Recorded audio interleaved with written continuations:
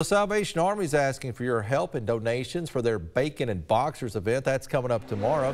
It raises supplies for homeless men like undergarments, socks, hygiene, and first aid essentials. Now you can help out by dropping off donated items at the Salvation Army at 822 McCallie Avenue, or you can make a monetary donation online. Bacon and Boxers tomorrow from noon until 2. It'll be at the shelter at McCallie Avenue. We have more information on our website, WDEF.com, but that barbecue looks delicious.